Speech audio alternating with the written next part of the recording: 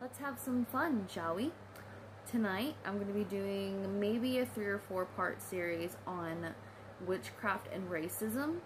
Um, about how certain things, when you look at it through a more modern perspective, you can see subtle racism as well as how the community is um, now, currently. It's gotten better, obviously, but still the major differences on like Wicca, hoodoo, voodoo, brujeria, pretty much like Wicca and like people of colors types of crafts, and then certain wordings that kind of are outdated and really should be changed. But you know, we'll see. So I might get some flack for these, but you know, let's go.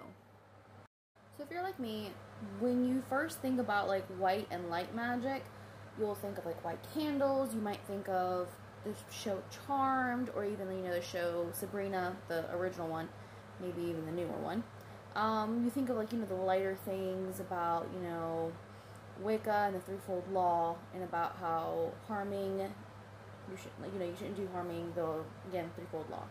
So I have noticed that many people don't know that Wicca is actually not as old as people think.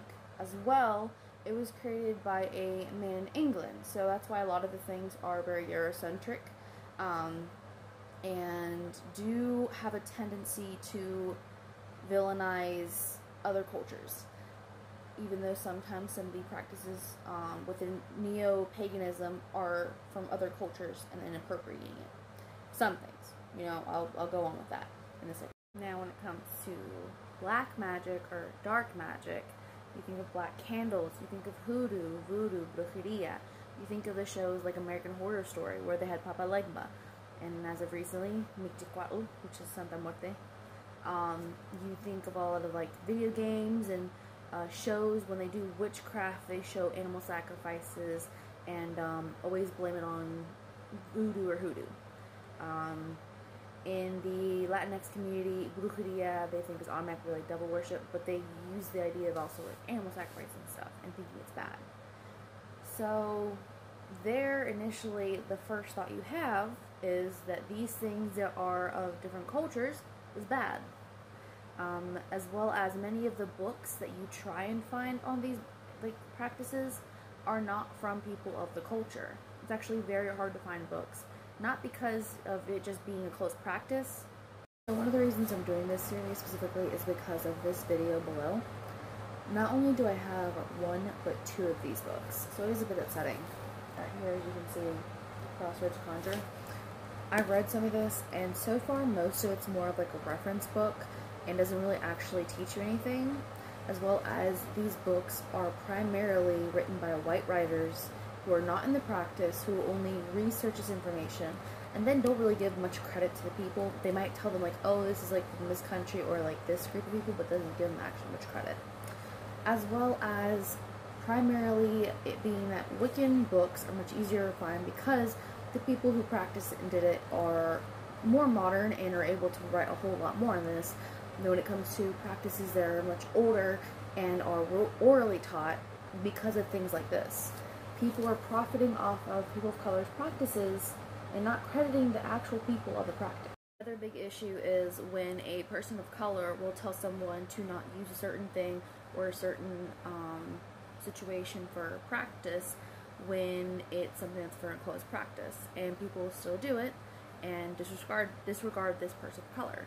But then when a white person says it, then they start to listen, and I'm seeing that trend with the white sage more and more people finally are listening, which is great. But I'm seeing it more when the non people of color talk about it.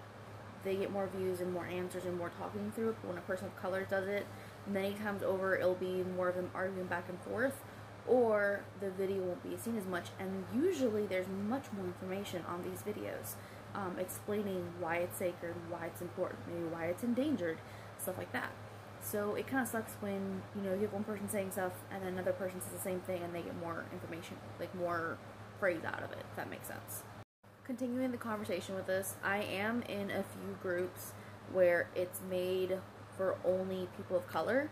Um, I have seen there that people are more open to talk about things because they don't feel like they're going to get judged.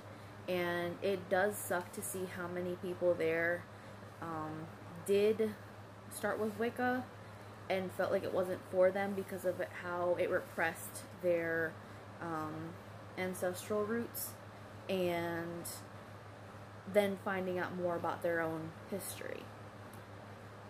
For instance, in my video about how I got from Wicca to Brujeria, I've had multiple people tell me they didn't know that our culture had its own practice because of how um, overshadowed everything is by Wicca.